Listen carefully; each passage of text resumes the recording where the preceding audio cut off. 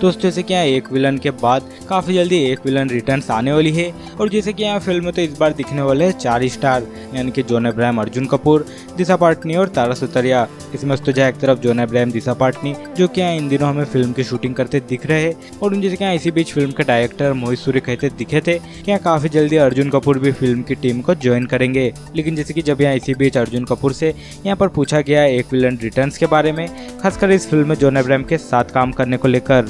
और उसमें तो यहाँ पर अर्जुन कपूर का कहना था कि वो काफ़ी ज़्यादा लकी है कि यहाँ उन्हें जोन अब्राहम के साथ फ़िल्म करने का मौका मिल रहा है। और क्योंकि यहाँ जोन अब्राहम का लुक और उनकी फिजिक जो कि यहाँ फ़िल्म में काफ़ी ज़्यादा शानदार दिखती है तो उसमें इस कारण से उन्हें इस फ़िल्म के लिए काफ़ी ज़्यादा मेहनत करनी होगी। और क्योंकि इस फ़िल्म में zone Abraham versus Arjun Kapoor भी देखने को मिलेगा तो इसमें इस फ़िल्म के लिए काफ़ी ज़्यादा मेहनत करनी तो बनती भी है। लेकिन क्योंकि जैसे कि यहाँ इस फ़िल्म में लीड स्टार के तौर पर हमें जोन अब्राहम दिखने वाले हैं, और यहाँ इस फ़िल्म में जोन अब्राहम का किरदार जो कि यहाँ काफ़ी बड़ा रहने वाला है। लेकिन जैसे कि इसके बावजूद यहाँ अर्जुन कपूर का किरदार, जो कि यहाँ फ़िल्म का काफ़ी अहम हिस्सा होगा।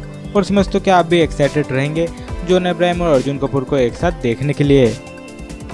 साथ ही और बॉलीवुड से जुड़ी लेटेस्ट अपडेट के लिए चैनल को सब्सक्राइब करें लेक्चर कमेंट ज़रूर करें।